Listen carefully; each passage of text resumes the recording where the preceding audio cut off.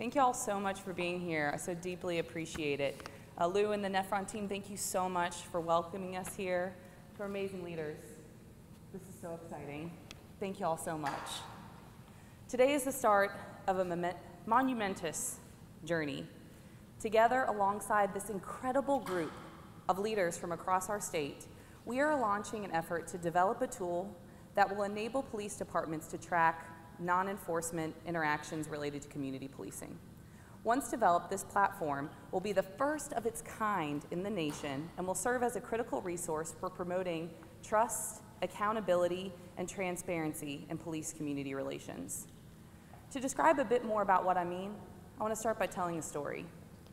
Serve and Connect's vision is a future where police and citizens are working together as one community to address root causes of crime and promote safety and thriving for everyone.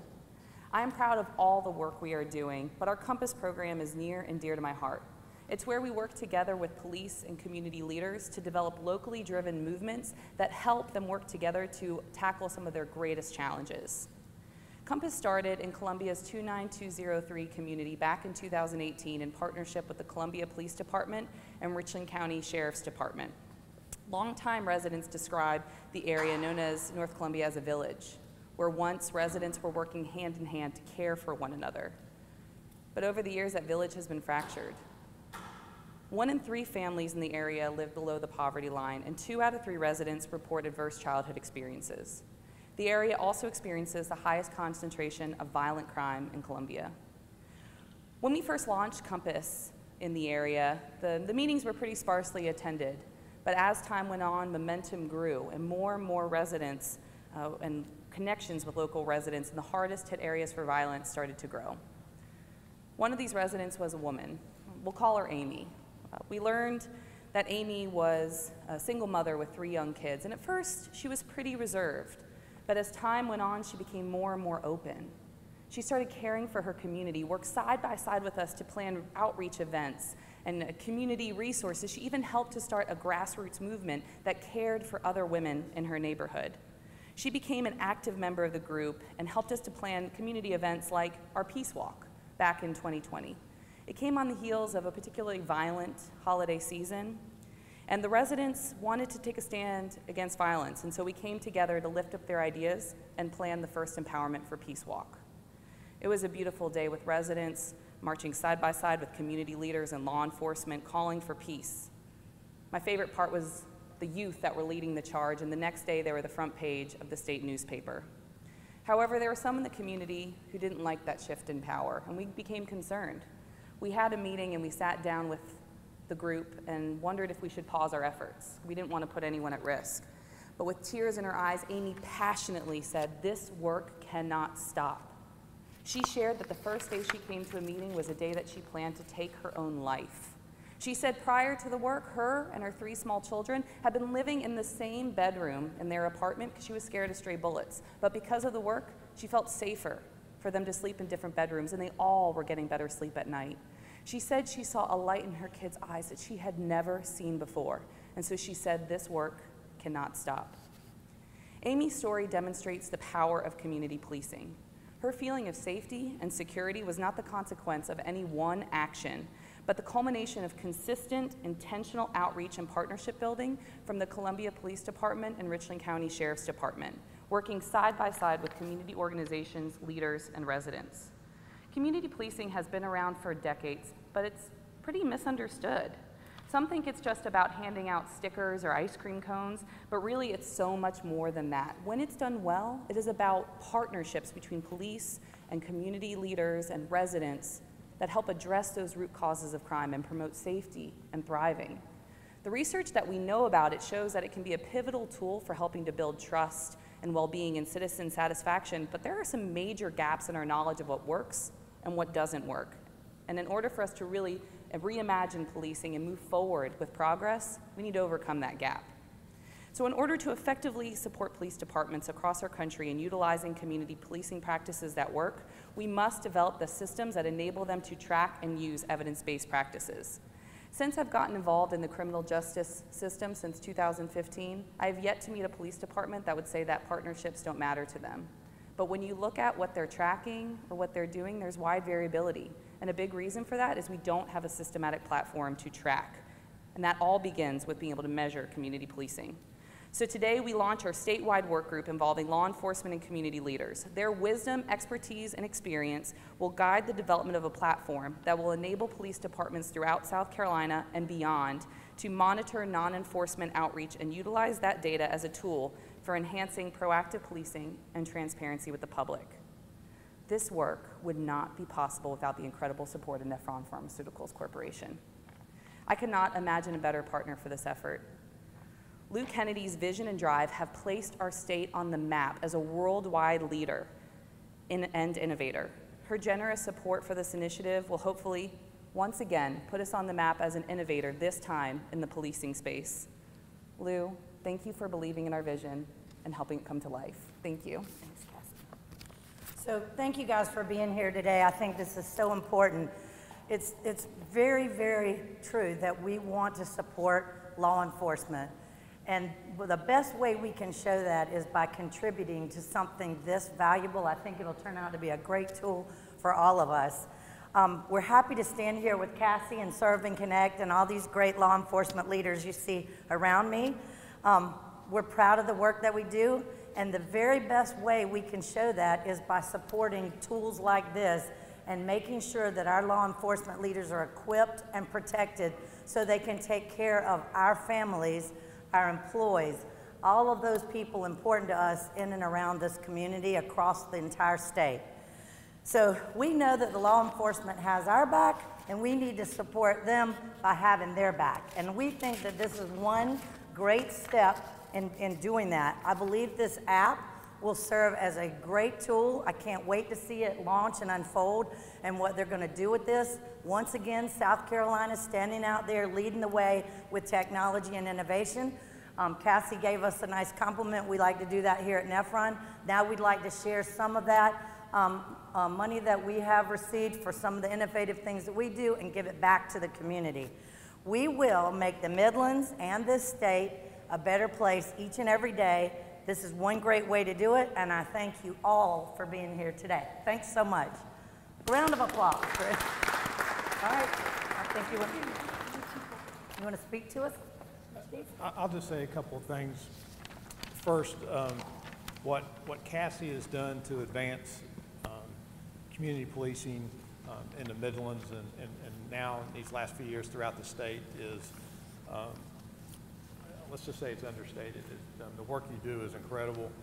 Um, community policing is really what um, we built, our foundation of policing is throughout this state. And I think that was never more evident um, than in the last 24 months when we've seen nationally some of the um, social unrest um, issues that have occurred and, and, you know, in many places spiraled out of control. And what you saw here was the importance of relationships and partnerships and trust um, and I think that's what uh, allowed us to, to manage, work together to um, be solution oriented um, and how we police and what, what our communities want to see out of their police departments.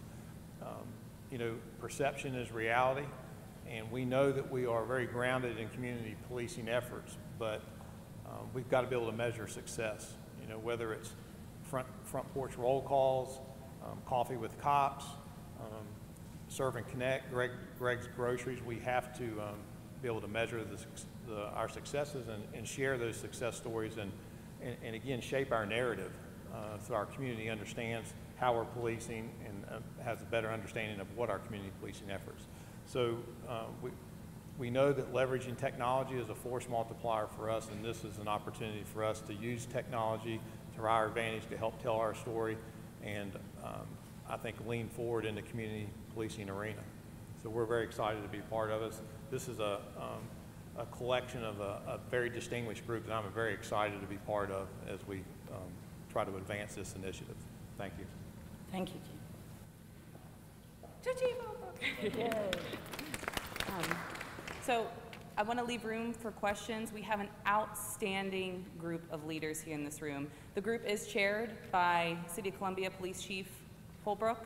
Uh, but we have amazing leaders. Uh, they're in part of your packet. I, I could say them all, and um, I encourage you to please interview, reach out to them, those that are are here. Uh, we're committed to making sure that this platform is developed, guided by both leadership in our state and law enforcement that understand community policing, as well as voices from the community themselves that can be advocates to know what the critical tools are, what we need to be measuring in order to have that transparency, accountability, and trust. And so that's why we're here. I do want to present, uh, if I can, um, Lou, thank you so much. On behalf of Serve and Connect and our work group here today, thank you to Nephron Pharmaceuticals for making this work possible. And I hope what we develop is something that uh, has repercussions not only I'm for our state but proud. beyond. Amazing. Thank And, you so and much. for my colleagues in the community, I'll just add that this mission is incredible and reach down deep into your pockets and give if you feel so moved because it's worth every penny. Thank you, Lou. Yeah, thank you. Thank y'all. Any questions? Could you give some examples, Kathy, of some of the interactions that were tracked uh, Um, I can, but I think I'm going to leave that to Chief Holbrook when you think about some of the community policing activities that you'd like to see tracked on here. Well, I, I- mentioned a couple in my remarks. Um, You know, we, we have really a menu of community policing activities that we do um, that can easily be replicated. You know, hardly anything is an original idea. We all uh, take what we call evidence-based best practices and cater them to our, you know, individual department needs. But, um, you know, we're a big state, lots of different police departments, and this portal um, will certainly be an opportunity for um, agencies to, um, you know, potentially enter a portal, see what are successful programs, um, what the feedback been, how, how they have been measured for success, and they may be able to take a, and duplicate a similar successful program in their jurisdiction. So the three main components of, just to build a little bit on Chief Holbrook's comment as well, the, according to the Department of Justice, the three main components of community policing is um, that organizational, cultural, and infrastructure. So how it's reinforced within a police department, the extent to which leaders are reinforcing. Do you have one officer or is it embedded throughout the agency, those values?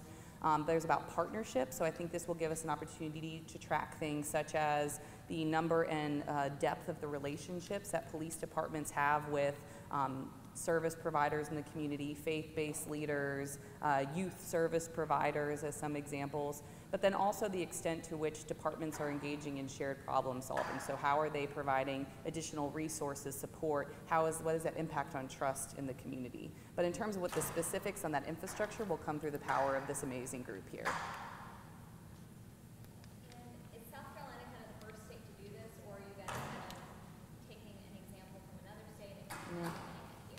Um, so as far as I know, we are the first in the nation. There are some departments that do a good job of measuring community policing, but by and large, there is no systematic approach and no shared understanding of measurement. I'm really thankful and encourage you to talk to Seth Stoughton, who is a professor at the University of South Carolina and has become a national and I dare say world-renowned expert in this space. And he'll actually be speaking to our group today to really walk through some of the challenges with measurement that we're seeing. It's hard for us to say whether community policing does or doesn't impact certain outcomes because we're not measuring it. Like I said, we measure use of force, we measure um, guns retrieved, we measure crimes, we measure all these sorts of things. But for all the thing, the, the effort that we put behind saying community policing is important, we don't track it. And that's a big gap in our understanding, both for individual communities seeking to build trust, but also this movement overall. What if we, this is my big vision, if we're really effective, what if we brought departments throughout our country on this portal? Then we'd be able to use that not only in local communities, but we'd have a research database that would help us actually be able to measure what kinds of community policing outreach is most effective, where it's most effective, what are the things, and what does it impact? Does it impact crime? Does it impact just fear of crime? Does it impact trust? How does it work? And I think if this is done well, uh, this is a, a huge opportunity. And again, uh, Lou has been such a leader of really locally being an innovator that takes us on this worldwide um, playing field. And I don't know, I want to dream big. I think we got the, the dream team here to make it happen, so I'm excited. So do you have a timeline of when you hope to roll this this work group is going to be convening for the next six months. Uh, they are the visionaries, the expertise, the, their rich wisdom and perspective is going to help guide the work, but our goal is at the end of the six months that we have an infrastructure that can be pilot tested. And so hopefully then within the next year or two, we actually can bring it more to scale. And what's the, the scale of the pilot then, the scale? That's going to be determined with the group here today. If I were to guess, we, my ideal circumstance at this time would be I could see like pilot testing it with probably like three different departments. If you hit like an urban, rural, you know, if you have large, mid-scale, just see how it works in some different sized agencies. Um, but that would, at this time, that would be my guess. But again, this is the power of the work group driving this effort forward. Lou, why was it so important for you to get involved in this initiative and to really, we work with Cassie and and other, other leaders to make this happen and to get the data there so you can actually help them, help everyone else? I don't think there's any amount of thanks too great for the group standing behind me and all of their colleagues. We, we really, and Cassie's taught me this, we have to do a better job thanking law enforcement for what they do instead of complaining about things that we can fix. But also, we need to remember to thank law enforcement. And I think that if we, um, my colleagues and I do that, we're showing how much they matter in our community. And I, I hope that gives moral support and also makes these guys want to get up every day and do the hard work that they do. So it matters to me. Any other questions? Again, we have a really outstanding group of leaders here. I encourage you to connect with them if you're interested, and thank you again for helping us promote. I think this could be a really huge deal, not only for our state, but hopefully our country. So thank you, and thank you to Nephron and to Lou. Thank you.